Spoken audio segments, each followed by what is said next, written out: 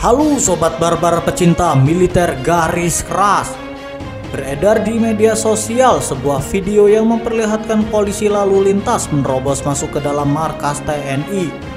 Kejadian itu bermula ketika dua anggota Polantas menerobos masuk ke dalam markas TNI tanpa wajib lapor kepada para juri TNI yang berjaga. Hal itu membuat TNI yang berjaga bereaksi.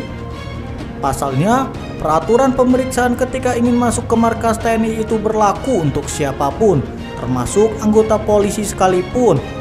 Bahkan, seorang anggota TNI pun juga harus menjalani serangkaian pemeriksaan, apalagi seorang polisi. Perlu kita ketahui, tidak sembarangan orang bisa masuk ke markas TNI tanpa tujuan yang jelas. Jikapun boleh, ia harus menjalani pemeriksaan dan meninggalkan tanda pengenal seperti KTP atau KTA kepada prajurit TNI yang berjaga. Usut punya usut. Ternyata pengendara sepeda motor itu adalah bukan orang biasa, melainkan seorang jenderal bintang 2 Polri yang menyamar menjadi anggota Polantas dan masuk ke markas TNI Angkatan Udara. Lantas, apa yang dilakukan Jenderal Bintang 2 Polri itu hingga menyamar menjadi Polantas? Dilansir dari channel YouTube Tribrata News Bubble, Kapolda Bangka Belitung Irjen Pol Anang Sarif Hidayat terlihat menyamar menjadi polisi PJR. Dia menyamar menjadi polisi PJR dan masuk ke area Korem 045 Garuda Jaya.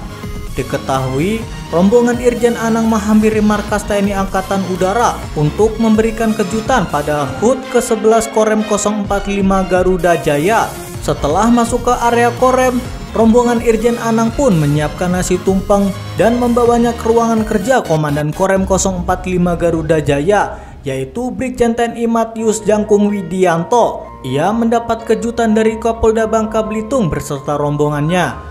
Komandan Korem 045 Garuda Jaya itu tampak terkejut dan mengucapkan terima kasih kepada Kapolda Bangka Belitung beserta rombongannya yang telah memberikan kejutan untuk HUT ke-11 Korem 045 Garuda Jaya.